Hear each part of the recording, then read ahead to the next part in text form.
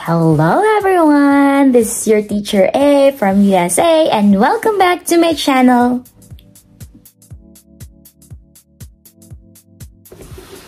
Last week, we talked about DepEd's resignation process and also if pwede bang mag-abroad kahit may loan pa? Ngayong linggo naman, congratulations! Meron ka ng DS 2019, so pwede na tayong mag-apply ng inyong visa. How do we apply or the process in getting your J1 visa? First step is babayaran mo ang iyong visa fee. Go to ustraveldocs.com and then click sa may itaas nakalagay bank payment options. Then, you will click the deposit slip na may J. J is for J1. You will then bring that deposit slip to RCBC Bank at doon ka magbabayad ng iyong visa fee. Second step is babayaran mo ang iyong CVs or students and exchange visitors fee. Just go to www.fmjfee.com and ito ang step-by-step -step process and how to um, pay your service. What I did is I had my payment option through Western Union.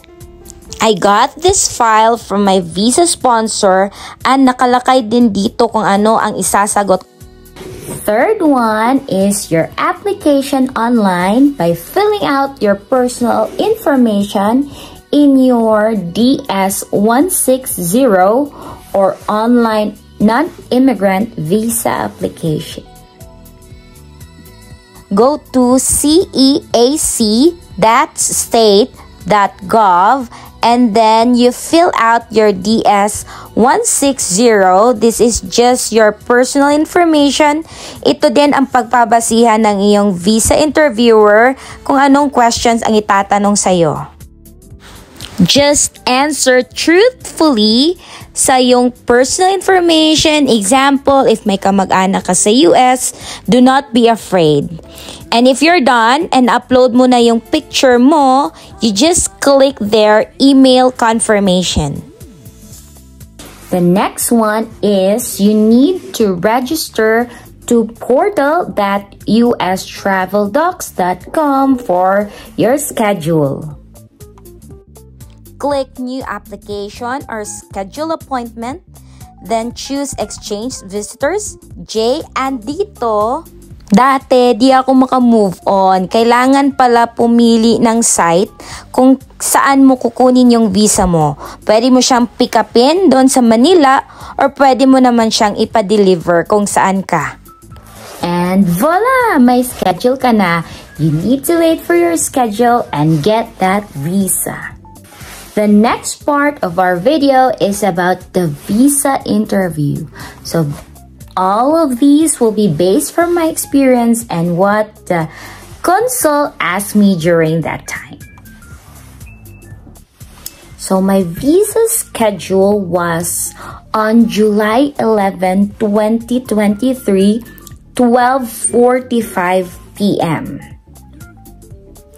A day before my interview, I went to the embassy just to have a look around to survey everything, what I need and what I don't need.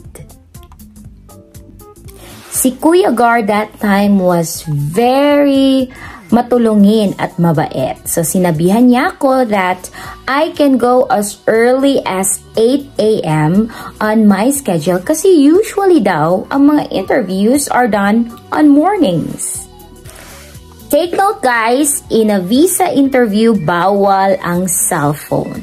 Now, there are people outside that will let you rent like a storage fee worth 200 pesos. So, iiwan mo sa kanila ang cellphone mo. Dahil may trust issue tayo sa mga ganyan, iniwan ko lang yung cellphone ko sa room na nirentahan ko. So, yon I arrive on time. Ako yung pinakauna sa linya. But since kasabayan namin is mga seaman, sila yung priority.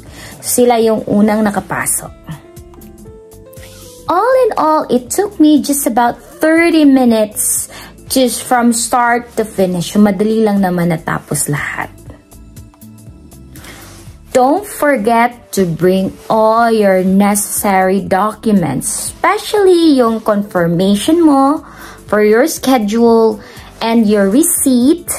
Aside from that, hihingin din sa'yo ang yung passport as well as 2x2 ID photo. As far as I can remember, there are two parts. First is tinanong lang sa akin yung birthday ko, tsaka yung pangalan ko. Doon din kunuha ang aking passport. Sa second part, doon naman yung actual interview na kakakabas. I was just praying the whole time. Yung nag-interview sa akin is lalaki. And he was all smiley and very approachable. So, what are you doing in the US? So, I answered, I'm going to teach. Where? So, I'm going to teach in Page, Arizona. How much is your salary? So, yung salary natin, makikita natin sa DS 2019 natin. Dapat memorize natin yon. Tatanong din sa akin, uh, what subject are you teaching? So, I will tell him I told him I'm teaching, I will be teaching mathematics. San ka magtuturo? I'll be teaching in Page Middle School. And then last but not the least, do you know the two-year rule? Alam naman natin sa mga J1 teachers, after a maximum of 5 years stay in the US, kailangan talaga nating umuwi ng Pinas for 2 years bago tayo maka-apply ulit or bumalik dito sa USA. I remember the interviewer even said thank you for teaching our children.